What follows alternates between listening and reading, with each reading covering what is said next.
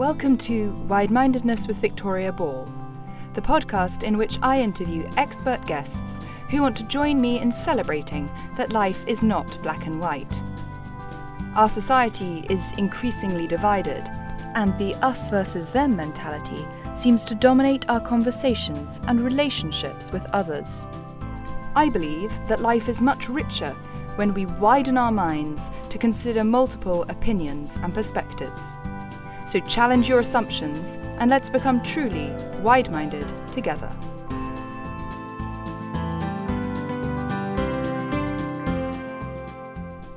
In today's episode, I am joined by a man the BBC has called an advertising legend. Robin Wight started out as a copywriter alongside the likes of Charles Saatchi and Sir Alan Parker at Collett Dickinson Pearce. In 1979, Robin co founded WCRS, the first of the new generation of ad agencies. Robin was behind some of the most iconic brand campaigns of the 20th century. From 118 118's Got Your Number to The Future's Bright, The Future's Orange. 19 years ago, Robin founded the Ideas Foundation to create a pathway into the creative industries for talented young people from diverse backgrounds. Since moving to the beautiful southwest countryside with his wife, Robin has founded Exmoor Branding to help local brands on a low or no cost basis. He also runs the Robin Wight Ideas Clinic to give two day ideas boosts to brands, large and small. Most recently, Robin was appointed as an honorary colonel in the British Army's 77th Brigade. He is currently writing his autobiography, the most fun you can have with your clothes on. Hello, Robin. Hello, welcome to Glorious Exmoor. So, I know that uh, wide mindedness is something that is close to your heart, and I'm thrilled that you're talking to us about it today. I recently read that six in ten people consider that the society they live in is more divided now than 10 years before. You have enjoyed a very long and illustrious career. Do you see this? Do you think we are becoming more divided? Uh, I think we are. You can see it at the national level in politics in America, and indeed here with the, the split over Remain uh, and Leave.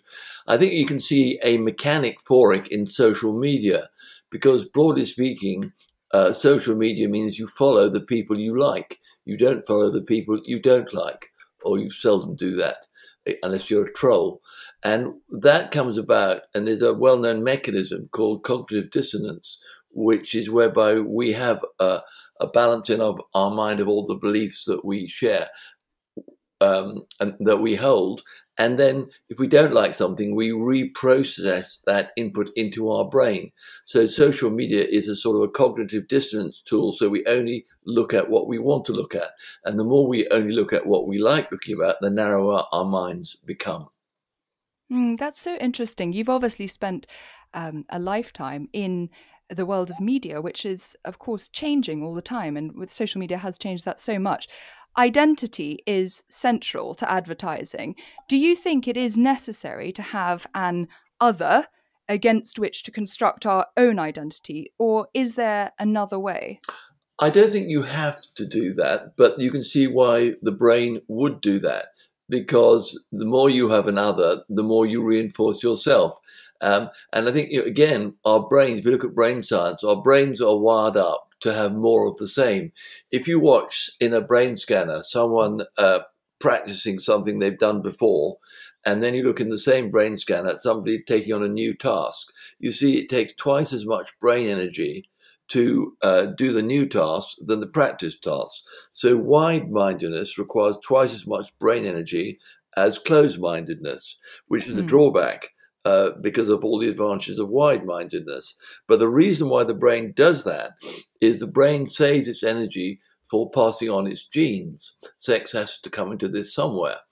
Um, mm. And passing on the genes uh, means who do I want to have lunch with? Who do I want to fall in love with? It doesn't mean um, uh, what brand of toothpaste or mobile phone or car to stick at the world of branding for a second.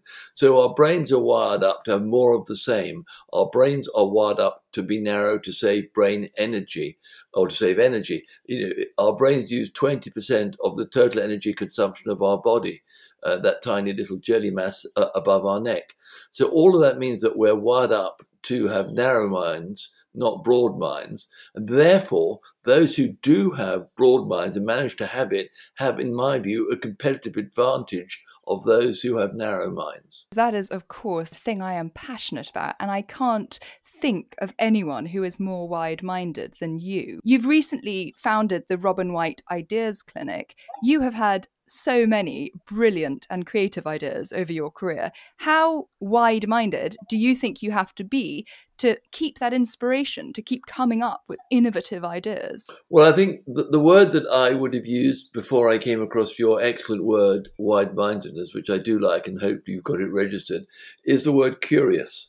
I think uh, curiosity is the driving force, certainly of myself, and anybody who's lucky enough to have a wider mind.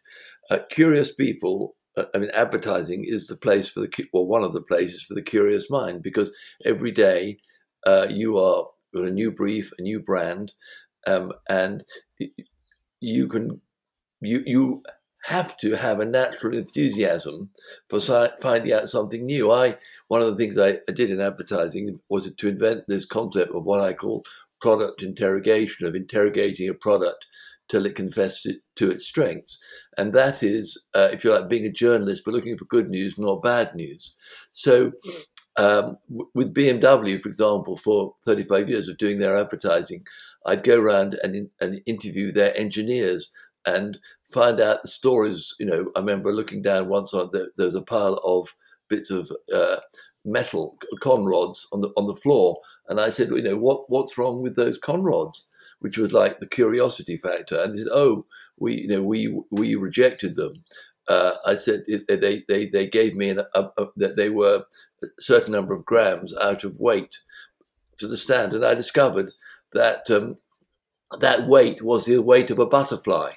So then I did an ad. We did an ad which had a butterfly on uh, one conrod and the butterfly not on the other one.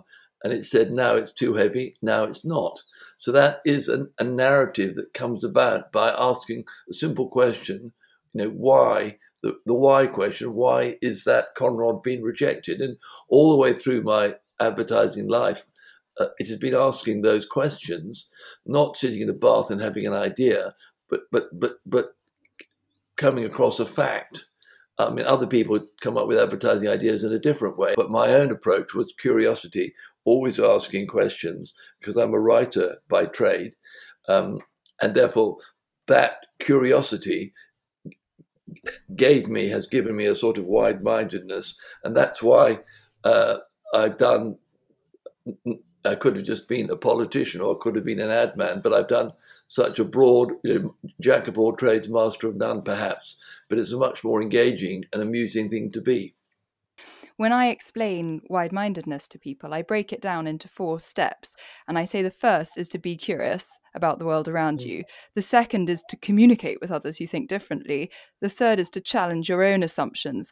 And then the fourth is to change and put that into practice going forward. And I absolutely agree with you that curiosity is central to that. You've got to be interested in the world around. The, the other the other word which comes out of which ends in ty is diversity.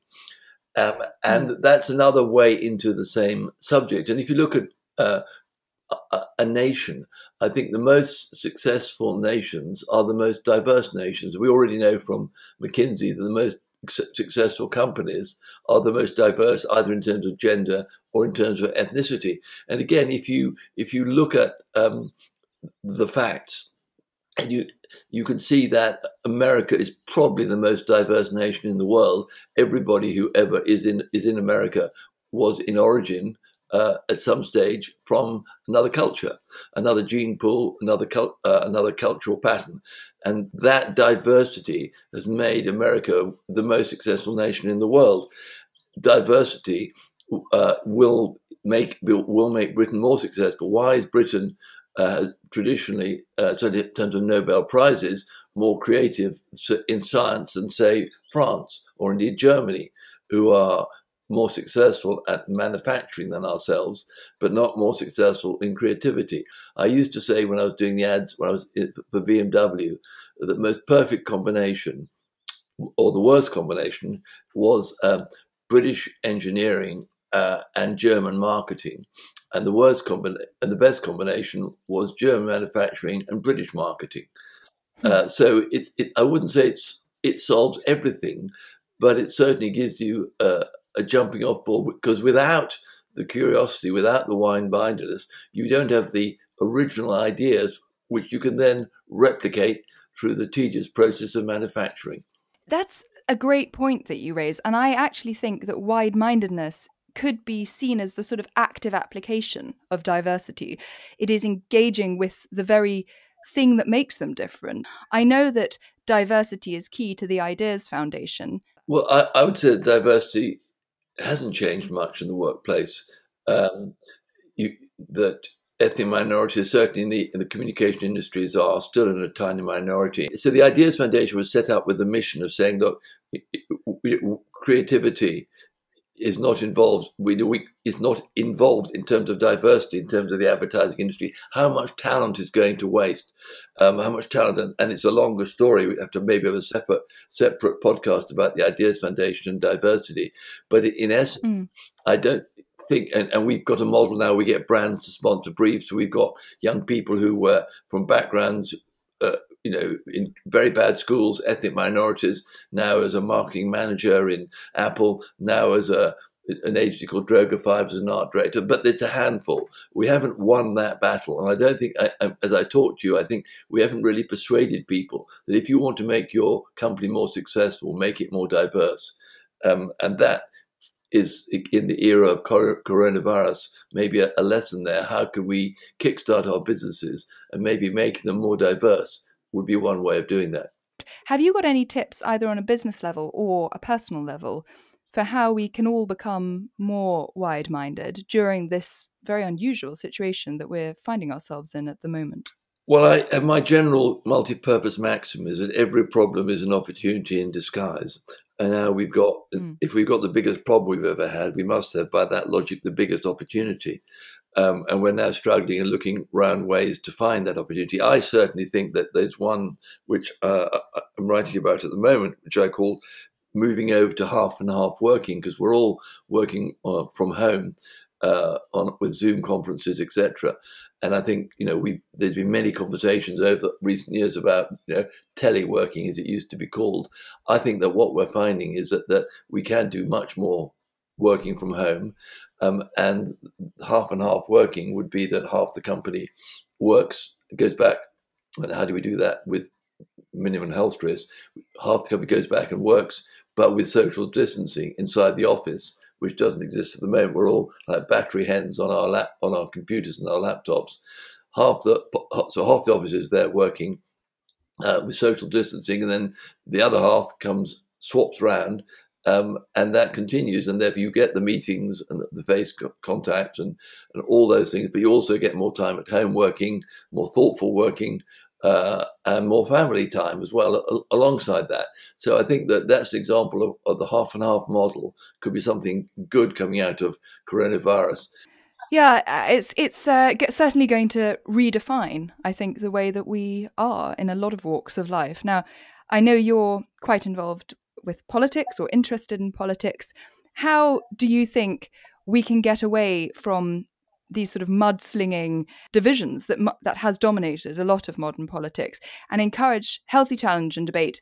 And it's interesting because we because we have seen a change in how politics is conducted in this period of coronavirus. And what can we learn to make it more wide-minded going forward? Well, I think I think you're right. You know, you can see uh, the way which the, the, communities have come together um, in one way or another. People you know, helping people, maybe talking to their neighbours for the first time. Uh, it, it, so uh, they, uh, another of these maxims is that the way to get rid of a problem is to get a bigger problem, um, and we've got a bigger problem. So, uh, what I think the, the, the danger of the, the, danger to look out for is that when it is all through, we'll be do, we'll be post morteming and blaming people, and I think that probably uh, it would be good to get a narrative going which said this has been a huge uh, laboratory experiment for humanity, and it's not possible for everybody to get everything right. And I think we should start. It's very hard for politicians to talk about not getting things right, especially as people are dying because of it. So maybe that's an unreasonable ambition. But I think that the general lesson coming out of it is that we we we can work together rather than fight. I certainly see some people who really hated Boris Johnson uh, now uh, dislike him less and can see the role for a national leader. And they're probably conservatives like me who can see in some of the, let's call it compassionate socialism, uh, something which we can learn from as well. This is why I've decided to start talking about wide mindedness at this time. It's something that, you know, I've been passionate about for a long time. But I think a lot more people are becoming aware that actually the world was becoming very black and white. Can you tell us a little bit more about your involvement with the military and just talk a bit about their approach to out of the box thinking? Well, yeah. The 77 Brigade was set up by the Army a couple of years ago, and it's called 77 because it's modelled on uh, a British general uh, called Orde Wingate, who was like a, an SAS style general uh, in Burma fighting against the Japanese, sadly killed in a crash in 1944. And he did very alternative, original military thinking, putting uh, troops behind the line to attack the Japanese, etc. So that's why it's called 77 Brigade. And the British Army realized that they're good at fighting, uh, but not good at information warfare, where the Russians, uh, the, the, Taliban, uh, ISIS were much better. And therefore, the army realized it needed to get skills from outside military territory. So, the comms industry, where I've worked for uh, over 40 years, was one of the areas. And that's, I was sort of randomly approached. Um, and my contribution is to develop a non, and most of it is cyber warfare, information warfare, that sort of area uh, is doing quite a lot at the moment fighting against uh, fake news, which has been pumped into the whole coronavirus situation and giving advice to the Cabinet Office. I'm not involved in, in that area. Uh, my area where I'm involved has been in using in Estonia, where there's a British uh, brigade uh, as part of the, the NATO uh, setup there. And what I've been involved in is uh, using the, the concept of using culture as a weapon but a weapon for presenting, preventing war rather than creating war, and building using music in, in, in Estonia because um, uh, it's, it's, a nation of singing, and to get British soldiers singing in Estonian uh, as a choir to welcome an Estonian choir when they were traveling around the countryside as part of a national celebration. And the, the Estonians couldn't believe that British soldiers were singing in Estonian. It's a very simple idea. Got simple idea, got a lot of coverage on Estonian uh, television, and it is it, is the concept is in a phrase. It's called information, not information warfare, but information peacefare, and that's something I'm trying to develop, which the army has accepted, and is perhaps a good example of wide-mindedness. Yes, I would agree completely. It's a reframing of what we thought we knew. Uh, and I love that phrase, peacefare. How brilliant is that? And as you know, I'm passionate about languages. I couldn't agree more that when you speak to somebody or sing to somebody, even better, in their own language, it forms a connection to the heart rather than just the head. And I think that's really what I'm passionate about connecting with people on a human level. Opinions are inherently formed by people's backgrounds and their experiences. Mm. And that's that's really important. Well, it may be. I'm, I'm not sure if you're familiar with the world of System One and System Two thinking as you talk, it makes me think that the system one mind, which is our ancient ancestral mind, which is our instinctive mind, actually is much more wide minded than our system uh, two mind, which is our logical, intelligent neocortex, um, our logical mind. And in a way, another way of saying how do we g- generate more wide mindedness is to say, let's be more in contact with our system one mind as much as we can and let's let the system two mind dominate our behavior. Well, my fear is that unless we all become a little more wide minded, we will become afraid of standing out and being different and going against the flow. Now, anyone who knows you, and I hope many people uh, click onto your website after this and see photos of you, and they will just realize that your fabulous dress sense and style quite clearly marks you out as somebody who fosters creativity and individuality. Is that important to you that we don't become clones who all think the same? The thing about clothing is that it, it, everybody, every item of clothing everybody's wearing is chosen by them at some point in time to wear. And I've always found, um, first of all, instinctively, and then understanding the concept in brain science, that wearing, let's call it peacock's tail clothing, signaling my genetic fitness, got me attention and I found attention quite a good thing to have. Uh, uh, it, you know, it, and that's why I got my fourth and final wife. Um, but it, exhibitionism, attention, all those things. It's a, it's, it's been a marketing tool for me in the, the creative industries. So I'm noticed and not ignored. So all of these things can give you a competitive advantage. So you know that's what I did instinctively. Now what I do deliberately with my purple brand. Which I love, Robin, and I'm sure lots of other people will come to adore as well when they discover it. Um, so, finally, thank you so much for talking to me. But before I close, I just would like to ask you if you had to sort of reflect on this topic of wide mindedness, how would you sum up the major benefits of being more wide minded? Well, I, as an ad man, I'd have to give you a slogan widen your mind, improve your life. Robin Wight, I love it. Thank you so much for joining me today. You've been a pleasure to have. I agree with you. Let's keep being wide minded. Thank you. Bye for now. I really hope you enjoyed this episode of Wide Mindedness with Victoria Ball. Help others learn about it by rating, reviewing, and subscribing.